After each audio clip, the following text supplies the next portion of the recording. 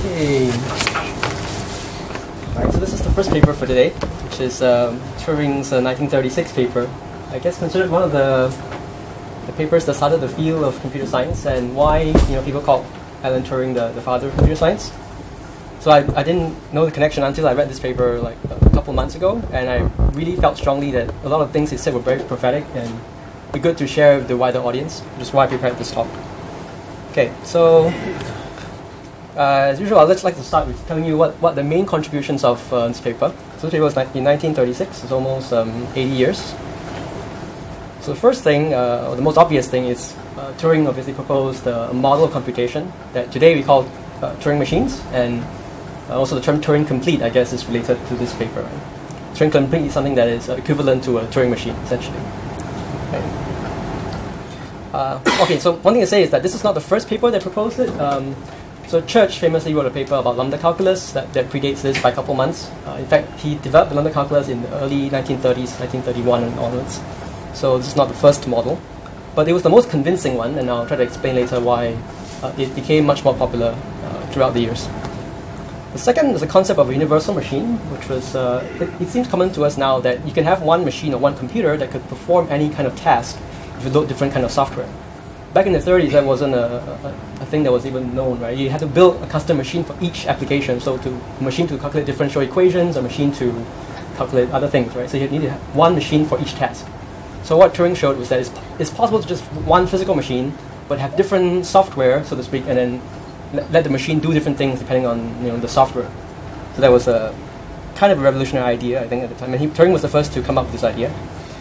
Okay, and the last part, which is related to the Entscheidungs problem, is he showed that, of course, this is uh, unsolvable based on showing that no Turing machine could solve it. Again, this is not the first paper to do this. Church did this a couple months earlier, uh, but he did it in a slightly different way, and I'll try to show uh, Turing's proof. Okay, so, so let's uh, go back to a little bit about why Turing came to write this paper. So I think we have to go sort of, I'll, I'll go as far back as the uh, uh, late 1900s to David Hilbert. So Hilbert famously you know, has this something called Hilbert's program, where he is trying to uh, formulate an axiomatic foundation for mathematics. So he asks some questions along these lines, right? Uh, so mathematics here meaning some formal um, axiomatic system that captures all of mathematics. Can we find such a system that is consistent, complete, and decidable? So decidable is related to the Entscheidungs problem because that, that uh, in English is like the decision problem, right? So it's related to the last property. So just for completeness, I'll I have to briefly explain what all three are to get to what decidable means. So I'll use the whiteboard for that. Okay. So, uh, so in Hilbert's program, uh, you have a formal axiomatic system. So basically that means a bunch of axioms and some rules of inference. Typically those from first order logic. So that's the that's the system. So you have axioms, you have axioms, and say rules of inference. So it's purely symbolic system. So you don't have to know what all the symbols mean. You just take the axioms and apply them and apply them, and eventually uh, you can generate all the uh, all the theorems, right? all the statements that are true in this uh, formal axiomatic system. So to be consistent means, um, so let's say we have, we have a statement um, um, S, and then you have um, not S. So obviously, let's say this denotes a proof a proof just means take the axioms and apply the, manipulate them with the rules, right? That's what, that's what a proof means. Um, so if you could find proofs, uh, if there's S, S, where you can find a proof of S and a proof of not S, then the system is not consistent. So the consistent means there's no such S where you can prove both S and the negation of S, which makes intuitive sense because while only one of them would be, would be sort of true, right? Let's say S is a statement um, 1 plus 1 equals to 2, and not S is a statement 1 plus 1 not equals to 2, right? So if your system could prove both of these um, uh, statements, then it's sort of inconsistent. Right? So you, you, you can't find such a statement. That is consistency. Okay, second property which is more important is um, completeness. So completeness uh, is related. Completeness says, uh, so for, okay, let me erase this. Okay. Completeness says for every statement S, right, either S or its inverse has a proof. Which means we can cover all the statements. There's no gap, right? Every statement, either the statement itself or the opposite of the statement has a proof. Right? And that has to be true because the statement is either true or false, right? So if the statement is false, the opposite must be true. That means we can find a proof. Right? So that's uh, complete. Okay. And, um, so it's basically a system where you probably can hardly say that a God exists because you cannot either prove or disprove it. Sorry, the question again? I didn't quite catch that. It's a system where you can hardly say that the Mhm. God exists because it's very hard to either prove or disprove it, as far as I'm aware. Did the code exist? God, Did the goal? God exists. God. Supreme God. God. Oh, right, right. Okay, uh, well, I'll not go there. Okay, let's talk about the last property, decidable. So that's the one we're going to focus. Decidable means, given a statement S, right, the, the decision algorithm or procedure will tell you whether S can be proven. Whether there, there exists a proof for S. So let's say in this case, let's say we know 1 plus 1 equals to 2, right? So there's no proof of 1 plus 1 not equal to 2. So if, if you give this statement to the decision algorithm, it will say, yes, there is a proof. It may not tell you what the proof is, though. It will just tell you there is a proof. And if you give it this statement, it will tell you, no, there is no proof of this. Okay, so that's what decidable means. Okay, uh, so just move on to the next person. So Gödel famously showed that uh, mathematics is, if if uh, if mathematics is consistent, then it must be incomplete. So he exhibits a statement, uh, some statement G, so the Gödel statement G, where G and not G ha- both have no proofs. So there's no way to get from here to any of these. That's the Gödel statement. This is similar to the liar's paradox. It's like, I am telling a lie kind of thing. So there's no way you could find a proof to any of these. So So one condition is the system have to be strong enough to have every. Ah, yes, that's right. That's a technical condition that to, to, to create the statement G, you need to have some components of uh, uh, arithmetic, right? To do like, I think, addition and multiplication. But anyway, so yeah, so that, that's a technical condition needed for, for Gödel's proof. Uh, and generally, you would expect a system able to formalize mathematics to have that properties. So, so we'll assume that is available. Okay, so that's that's out of the question. So there's no, we don't have completeness basically. Um, so does it still does it mean we don't have uh, decidability, right? Which is what Turing. So the question at, at that point, this was 1931. So after that, the question became, uh, is it decidable though? So completeness was uh, settled by Gödel. Right? So uh, we could still be um, decidable because if you feed G to the decidable decidability algorithm, it will tell you no, there is no proof. And if you feed it not G, you also say no, there is no proof. Right? That's that, that, that technically is possible. Right? It's possible to still have a uh, decision algorithm. Of course, most mathematicians didn't think so. Didn't think that we, we, we have a decision algorithm. So most of the work went to trying to show that there is no such algorithm. So, and So Turing. there are systems where neither G or not G has a proof, and they Right. are very practical, kind of. So you can Yes. express a lot of sentences, a lot of claims that make sense, and you still can decide whether. Of course. Yeah, yeah. And yeah, so mathematics is, once you have some arithmetic, is you have this situation, right? So I'll skip Max Newman. Uh, so I'm Turing. So uh, I think the story was in 35. Uh, he was lying in the field. I mean, he, he actually heard about uh, incompleteness from, from Newman, who gave a lecture on this uh, at Cambridge. And um, so in 35, he was lying in the field somewhere in, in Cambridge, and he thought about how he would go about it. And sort of the story goes, he was inspired by uh, he, he was he was inspired by uh, his mother's uh, typewriter.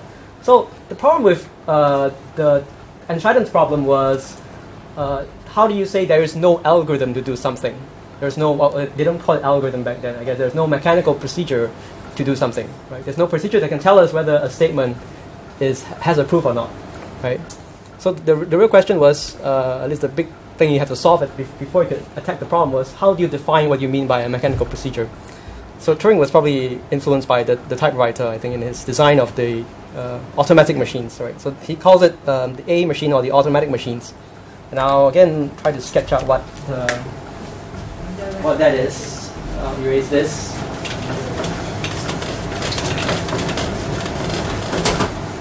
So you see why it's related to a typewriter. Sketch it out. Let's see. So the machine has a, a infinitely long uh, tape. The tape is so this is your like memory. And you can see this is how like on a piece of paper you have this um, infinitely long uh, way to so you can type letters into the paper from a typewriter, right? So you have a you have a I guess you have, you have some kind of a head. And you have some kind of object here. So basically you have this, this tape and you have this machine and you could you could move it one step to the left, one step to the right, and then there's some uh, there's some state some state here that controls, and then you can also you can write to the tape. You can write a symbol like the number one, and you can also um, write two, and you can also erase um, erase the tape. Erase just means write the blank symbol. So you can, you can overwrite what you wrote on tape. It turns out that not to be necessary for uh, for Turing completeness. You could actually not you can actually only have a tape that is write once and still do it, but it's easier if you allow people to just overwrite the tape, which just looks like kind of how RAM works. They can just write in the location of RAM over and over again. Okay, turns out be necessary. Any case, so this is the thing. So to to uh, demonstrate this machines in, in the paper, he developed some programs, or what we would call programs. So his machine is like a weird programming language, basically. So he developed some programs. Um, he, so he only considered one kind of program. The program is going only going to print uh, the numbers zero and one. It's kind of interesting. So this was in the time where uh, people were making decimal machines. So binary wasn't a very popular format uh, in the 30s, but he decided to use binary. So this program would print um, the decimal expansion of uh, a number between 0 and 1, right? A, a real number between 0 and 1, uh, between 0 and 1. Right? Let's say, for example, one third. Right? One third is um, the binary expansion is 0 0.01, 0101, so on so on forever. Right? The, uh, you can just trust me on this. This is the binary expansion. so this is also equal to 1 quarters plus 1 over 16, 16. uh, 8, 16, yeah. 64, right? Uh, sorry, 64. What was it? 60. 64. Uh, it's this infinite series, basically. So this is one third, right? So this is the first program he writes in the paper. I'll also write it here. I'll write it in a different form that's easier to understand. So uh, you basically have the symbol. Oh, so it's kind of a simple program. So I'll just draw like um, square for the uh, the blank symbol. So you start in the state A, and for the blank symbol, you would you would print what you print the zero, move to the right, go to the state B. For state B, you would print the one, move to the right, go to state A. Okay, so the way you look at this is, this is the symbol on the tape that you are um, reading, and this is your state, uh, which presumably always start in A. So the triple, the triple in the square means, so if I, if I want state A and I see this is the, the state of the logic box, and I see the symbol blank, this is the first thing is the symbol you will print. So you print the zero. You can just sort of simulate this uh, on this on this uh, imaginary tape. So you print the basically I'll print the zero, is the head. Then I'll move the head to the right one step. You can only move one step to be here. Then the next state will be B, right? Me then start over. From B, you see the blank symbol, we print the, the number one, move the head to the right. Right, and then we go back to state A, and so on and so forth. And, you can sort of surmise this will print 0, 1 forever. So this is the first program. Uh, Turing's version is a little bit more complex. He actually he actually leaves all the uh, all the even spaces empty, so that you can actually do some computation. You can use it for scratch space later. Uh, so he separates between the space where you print the numbers, which he only writes once, and the space he actually leaves some space between them, so you can um, store some stuff for doing computation later for more complex um, programs. So so this is three, and then um, okay, and, he, and here's here, here comes the title, right? So he calls all these numbers, these numbers which can be generated from Turing machines, computable numbers. So he calls this computable numbers. Okay, so that's where the term comes from. So this is he, these are the examples he used to illustrate that um, um, he has created a general machine. So let me briefly explain uh, numbers. So um, so we have uh, we have uh, natural numbers, right? Natural numbers, which is one, two, three, and so on.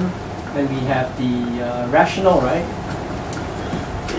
Some kind of n over m. Then we have algebraic, which is the solution of some equation, say x squared equals 2. So square root 2 is algebraic. And we have, uh, before Turing anyway, we have then we have transcendental, which is sort of everything else, like uh, pi and e and other hot stuff. It's transcendental. So they are not some equation. And they have very complicated um, decimal expansions. So this is what we know about. And then we have the, yeah, this is the rest of all the real numbers anyway. So uh, Turing's um, uh, computer numbers actually forms a new class. It is strictly bigger than all the classes we've known so far, which is bigger than, oh, it's bigger than algebraic. Al- each one is a subset. So natural subset of rational, rational subset of algebraic, and um, so computable is uh, superset of algebraic to some extent. It, it includes all the algebraic numbers. Uh, and it also includes these two. Uh, it includes pi and e, right? Because you've heard of people calculating pi to like 9 million digits, right? So they obviously wrote some kind of program. And of course, you can write that program in, in this form. It's just going to be very cumbersome, but you could do it. So um, pi is also a computable number. So that gives credit to the, the fact that you can generate lots of different numbers. Okay, so that's the Turing machine. I show you the program for one third. Okay, so yeah, so why did this model uh, became so much more popular than the other competing models of computation, like the lambda calculus and the general recursive functions?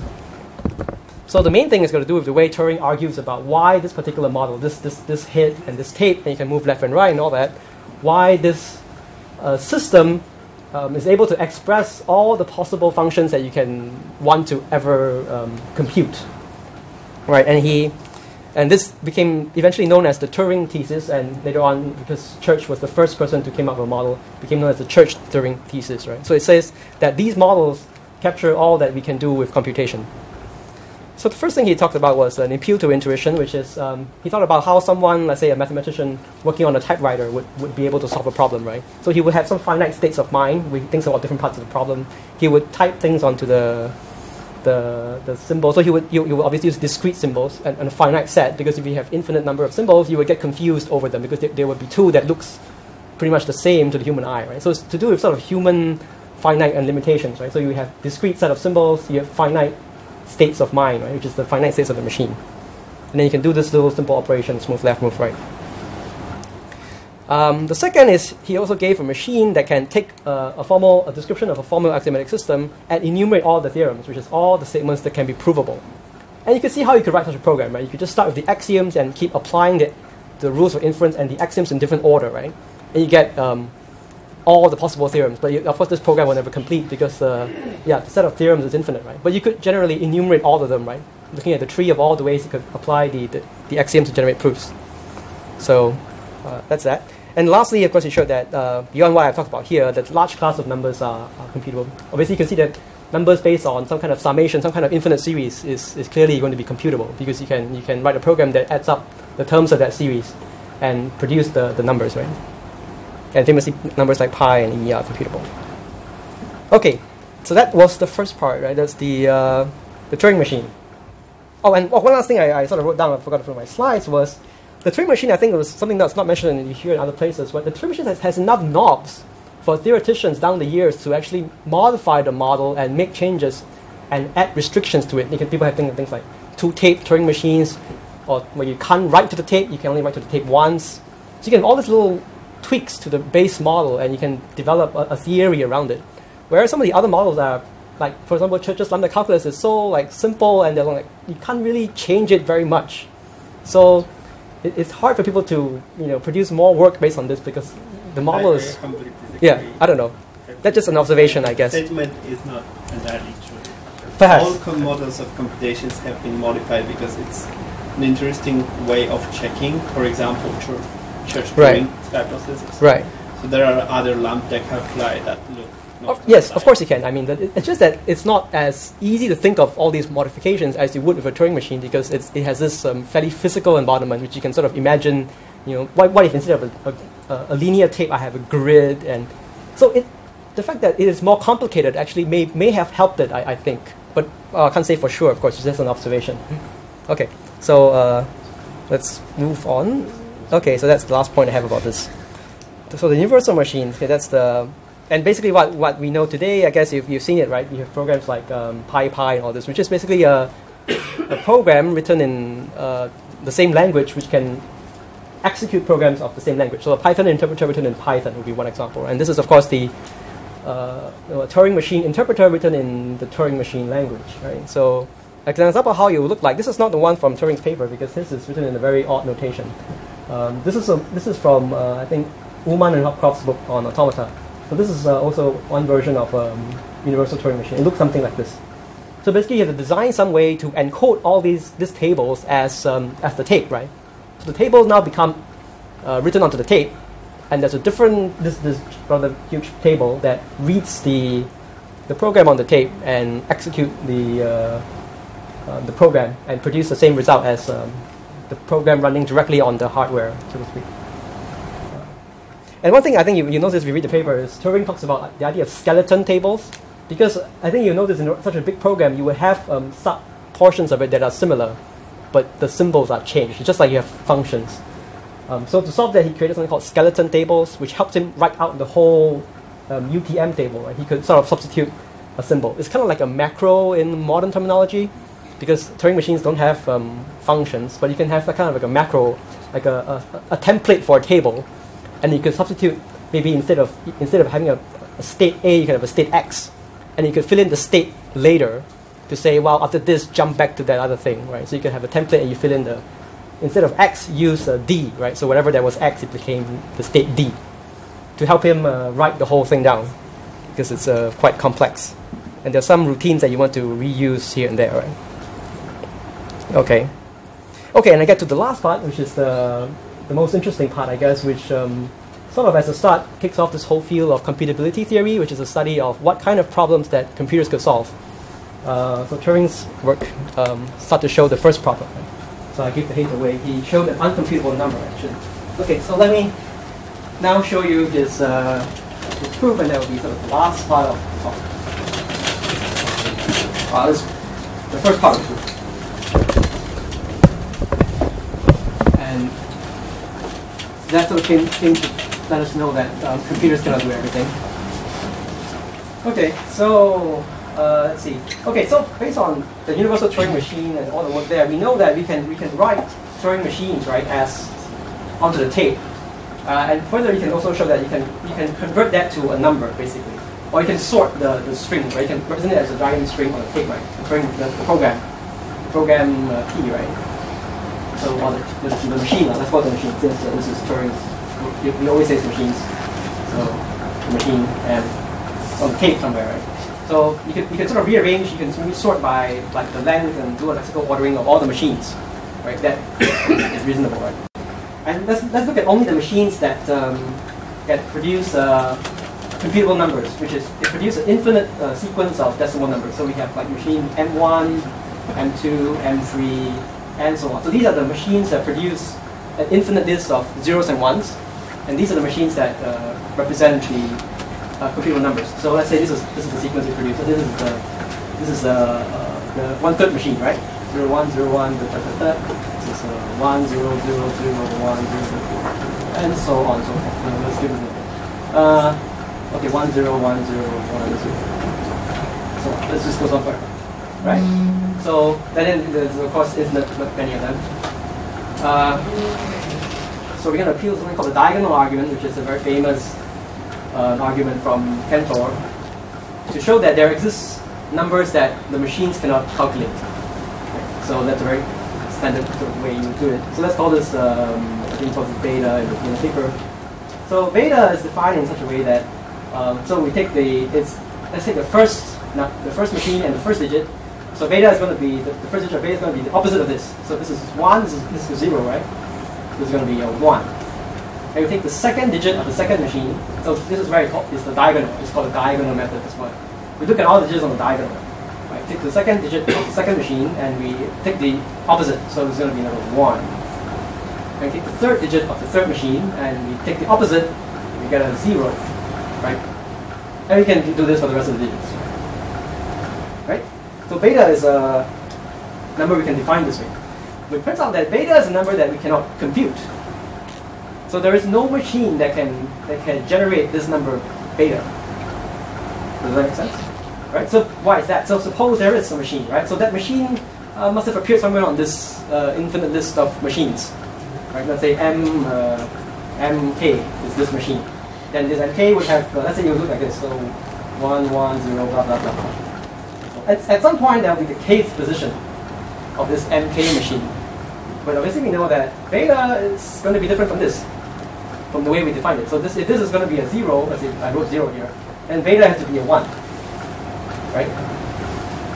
So that means it couldn't be the MK machine, but it could be any machine anyway. So, so that is very important, and that's what this is all of what you need. So beta is is a is a number, which is, but it's not computable.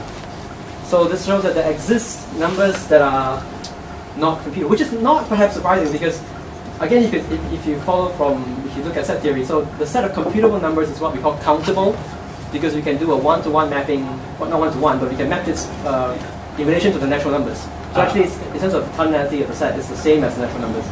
Yeah, Um, uh, I, I think I missed this argument. Sorry? Why is set of computable numbers countable? Never mind. Actually, not, not terribly important in this particular proof. I will I will skip that. Because if it would be uncountable, it would be continuum, then the argument doesn't hold. But it's, it's countable, yeah. But yeah, it's, it's countable. Uh, okay, because we can we can encode all the machines as a number, so it's a subset of the natural numbers. If you look at just the description of the machines. So every machine description has to be finite. Yes, yes. I think that's a sort of an assumption here.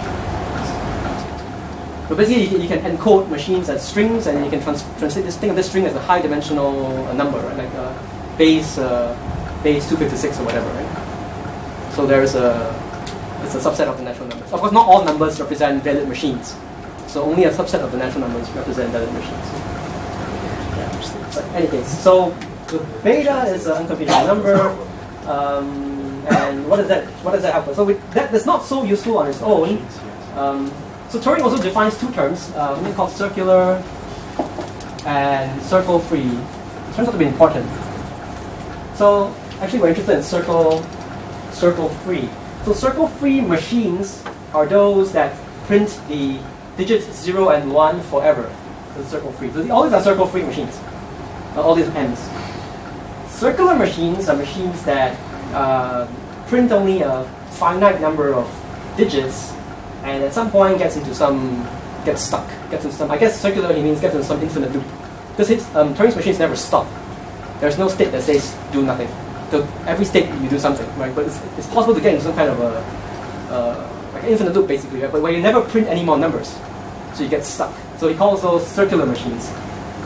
Is that right? So what we want is circle free, but circle free also never stops. It goes on forever. It just never gets stuck, and you keep printing zeros and ones forever. Right? It's circle free. Circle free with dash, not underscore. Okay. Ah, okay. Let's see how I'm going to go with this. So we can also show that there is no machine that can read the description of another machine and tell whether it is circular or circle free. And that turns out to be the key, the key thing. So this is just a step to that. So there's no machine. So I'm writing it. There is no machine. So you mean that in modern terminology, terminology Yes. you cannot know if they stop or not. Yes. So I think Martin Davis was one who popularized the term halting problem. This is what Yeah. people may have heard, but Turing never uses this word in his paper. But uh, I guess in today's terms, most of us write programs that stop. But then again, if you think about like server processes, they never stop, right? So maybe Turing was, after all, more prophetic than, than we think. But in any case, yes, this is also known as the halting problem, uh, aka the halting problem. But uh, the funny fact was that uh, Turing never uses this word because his machines never stop, as you say. It, it has to print the numbers um, forever. But another word for this is the halting problem. There's no machine that determines if another machine, which is written on the tape, obviously, another machine. Uh, let's say is circle free because this is, this is one we actually want. So the circle free ones are the good ones, so to speak. Circular ones are not so good. So there's no such machine. Okay, how do we prove this? So um, let's see. Where I write my notes. This gets a bit heavy. Okay, uh, okay, as usual, we do the usual thing. So let's pretend, uh, let's pretend there's such a machine again. So proof of contradiction, very common. so pretend there's such a machine. That, that's, that's, let's call this machine, um, I don't know, omega, right? It's such a powerful machine. So this machine, omega, is able to read another machine, say m, and returns whether it is, let's say it returns one, it prints one if it's circle free, right? Reasonable thing to do. So it reads the machine from tape and it prints one if it's uh, circle free. It prints zero if it's um, circular. Okay. What can we do with omega? Well, turns out if you have omega, you can actually um, generate beta. Because then you could you could enumerate all the machines in lexical order. You could ask uh, omega, is it circle free? If it is, you could you could execute it with the universal machine and figure out the first digit, then print the opposite, that would be the first digit of beta. Then you could churn for check all the other machines until the next machine that is circle free, which is M2, and then ask the universal machine to run it to generate the first two numbers, find the second digit and print the opposite of it. So, uh, asking about this argument, Yeah. what if uh, the machine omega first Yes. reads the number of states that machine m n has, Yes. and then checks the number of digits that corresponds to this number of states and whether it repeats after this number of digits. That would work sometimes, but not all the time. I guess. Why I not? that. The machine has finite memory because it has only m states. So you're saying you number of say that states- machine can only write new digits. Yeah. So that's all the memory it has.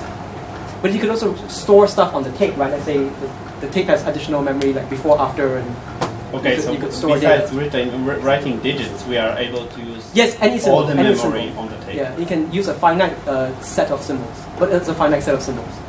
And no, But the, the amount of memory we can use on the tape is infinite. it's infinite. Yes, Okay. Mhm. yes. And in, in, in actually in, in real life, in, in, in the paper, he actually uses uh, alternate positions of the tape. So I didn't I didn't do it here because it's a bit confusing. So the actual machines will print numbers like this: zero, one. These are these are squares used for working memory. Mhm. Uh, so, so th- there's also yeah. It, it turns out this this is actually enough. You don't need more than this. Like extra space in between the actual space for the output to do your. Uh, you just Store need data. infinite memory. of course, this is infinitely long tape, so you have infinite of these extra squares. Yeah. Okay. Uh, okay. So, and really that's the sort of final thing. We get to this. Um, uh, point. Okay, so uh, what was I saying? Okay, so there's no machine because if there was, we could use it to enumerate uh, all the circle-free machines, right, and not get stuck. Because if you try to run the circular machines, you get stuck forever. So we can enumerate the cir- circle-free machines and, and and just print the opposite of what they print, right? And we can print beta eventually. So this we can use omega to construct yet another machine that could print um, beta, which we know is impossible because there's no machine that can print beta by the prior argument, right? So, so essentially the, the anchor is actually beta in some sense because this is a number that is uncomputable. And from there we can sort of imply that this is uncomputable. And of course further on there's something called Rice's theorem that says any property that depends on just Does its it really behavior. mean- Sorry. Can we construct the machine that prints beta in, if it's uncomputable? We can. Because we just argued that we cannot construct this machine. yeah. That also means that we cannot check whether it's circular or circle-free. Exactly, exactly. Yes, yes, sorry, I didn't go back right to the video. Yes, so we can't construct that machine uh, because our original assumption that there is such a machine, omega, is false. Right? So there, there is no such machine that can do this. And there's a generalized version that says, uh, not in Turing's paper, but further subsequent work that says that any non-trivial property of, of machines suffer from this problem. It's uncomputable. So in subsequently, Turing also shows in his paper that to determine whether a machine ever prints the symbol zero is also uncomputable.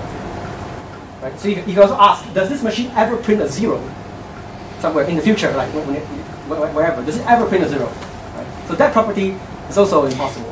Similarly, does it ever print a one, or you know, does it ever print any? Uh, all these kind of properties are undecidable, right? uh, un, uncomputable essentially.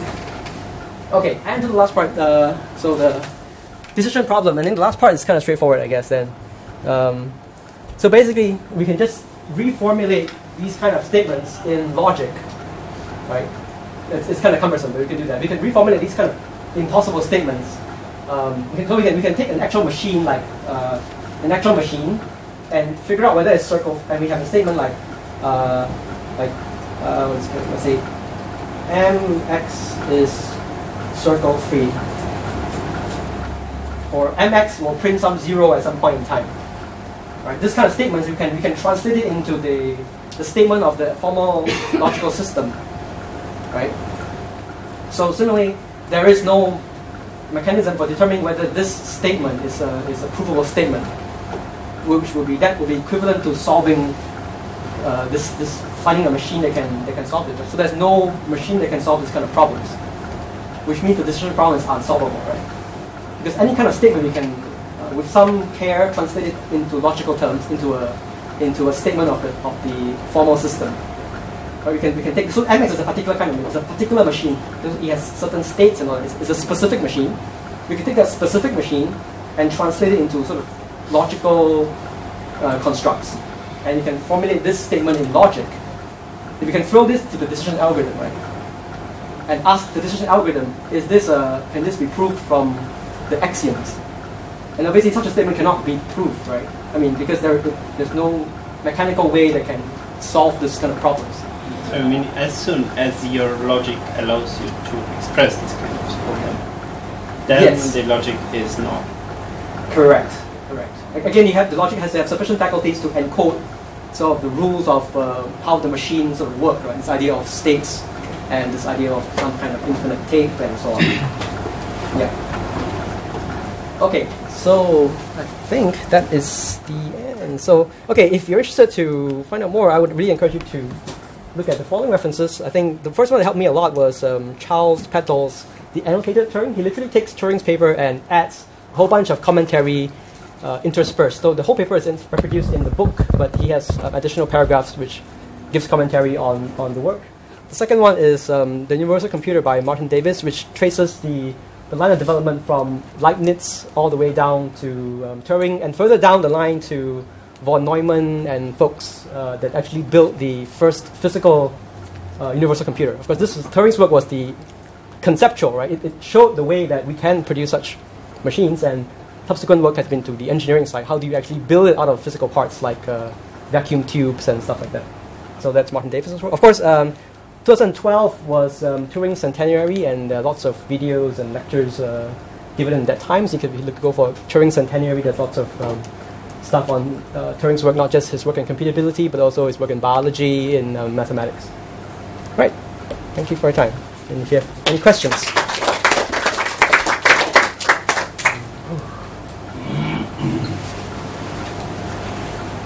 Did I do on time? Yes. Yes, my question is kind of like general. Maybe it's a bit simple. Like, pardon me. Go ahead, please. Um, actually, like when, when let's say you're going through a computer science course and stuff, so Yeah. there's this idea, idea of a finite state machine, right? So you Yes. can analyze algorithm by treating it as a finite state machine, you optimize algorithm, you know, by optimizing a finite state machine. Okay. So what's the relationship between a finite state machine that you know, we call these days and the Turing machine that, that and Ah, okay, interesting. So actually, a finite state machine is very similar. So if you look at the, draw the picture again of the Turing machine, right? So, so besides the tape, which is infinite, the the logic in the box is actually some kind of finite state machine, actually. But this finite state machine is actually well, normally in finite state machines you don't get to write to an external tape. So there's no there's no write. So it, it just jumps around internally, mm-hmm. going to different states. Right. So the Turing machine, in addition to to the control, it has a way to remember things because you can write it on the tape and you can move back and forth and come back to it later on. Right. So it has a memory. So a finite state machine um, doesn't sort of have a memory per se. It has finite memory, whereas a Turing machine has potentially infinite memory because the tape is infinitely long. Yeah. So if your finite state machine has like 10 states, basically your sort of your memory is basically which state you are in, right? Right. You sort of encode the memory in the states. But the Turing machine has an extra memory. So it's kind of also like the table that you showed like A and B, state A and state B, and what does each Yes. do. So that is actually like the finite state machine. Yes, yes.